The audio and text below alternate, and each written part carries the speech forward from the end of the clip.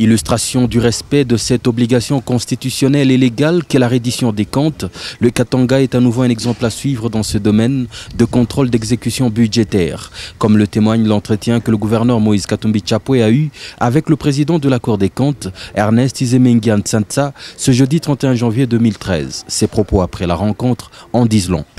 Alors je tiens à vous faire remarquer que la province du Katanga est dans ce domaine la première province à faire une reddition de comptes, à exécuter un budget et à faire une reddition de comptes à la Cour des comptes. Je voudrais euh, profiter de l'occasion pour dire que la Cour des comptes souhaite que les autres provinces puissent suivre l'exemple du Katanga. C'est difficile, une reddition de comptes, mais il faut commencer. Même au niveau du pouvoir central,